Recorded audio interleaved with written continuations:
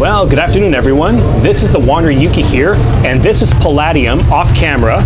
And we're here at Brewskey's Pub around Old Montreal that I've showcased a number of times, and we're doing a little beer tasting platter that I've shown too. So this is four different beers that we're going to be trying out. So, Sophia, you're not really a beer drinker from what I remembered.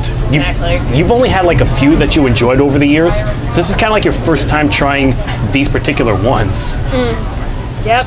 Well, that's the beauty of it. When you have these five ounce glasses, you get a taste of each one of these without, you know, going overboard. So your first one you have here is the Double Ghost Coconut. So, and good thing is you're not going to get her reactions on camera. If she likes it or not, you won't know. That's very sour. Sour. It's very sour. You gotta, yeah, because that's the thing about ghosts. They're like sour. You use raspberry, perhaps. You could use like lime. Basically, it's a sour fruit beer. The more you drink it, though, the better it is. You have to get used to it. In other words, Yeah. but it's also a bit of a strong one, like 6.5%. Some ghosts could be around 4 or 5%, which is a summer beer. It's pretty good. Cool. Pretty good. All right, but Which one then is then the second one? so the second one is the Imperial Pina Colada. So that's number six. Uh, no, that's this is number six. nope, this one. Oh, yeah. So this one, whenever I see the word Imperial, I know it's a strong one because you're thinking like 7% up to 10%. I like the look on your face right now. Ooh. Yeah.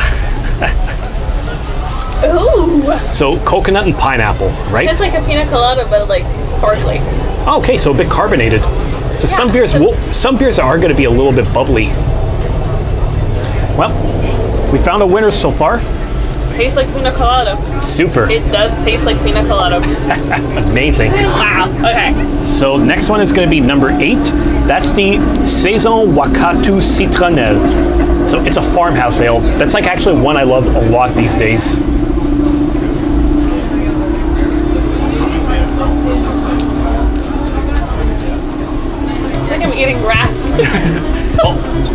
You know what a farmhouse ale is? Mm-hmm. Basically, it's like you're, you're the farmer on your land. You're gathering your own wheat, and then you're making your own beer from scratch. Some will be a bit stronger, like fruity, maybe a bit spicy. Others will be lighter, depending on the time of year. So it's very seasonal. it's very refreshing, though. Yeah, It's Very. I think this one is the most refreshing one out of all of them. Probably the easiest one to drink this time of year. Yeah. So if you like that, very cool. So if ever you want, get Unibroue's Saison Libre.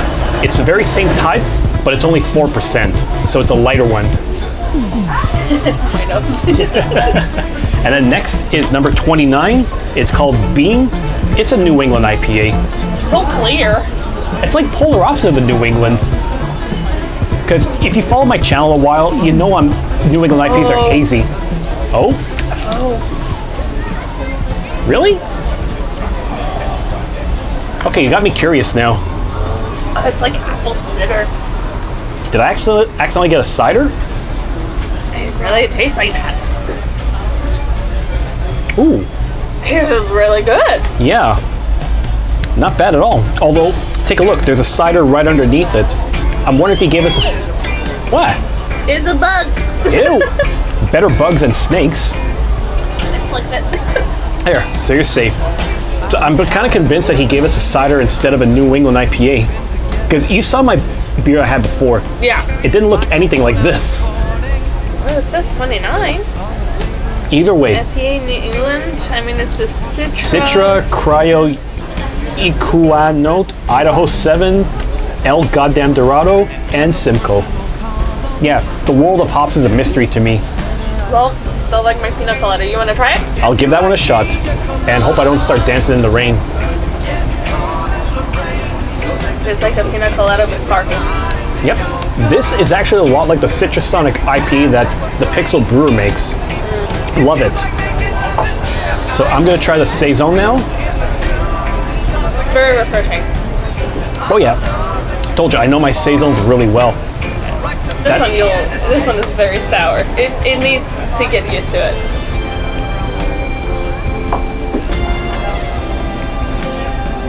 Yeah.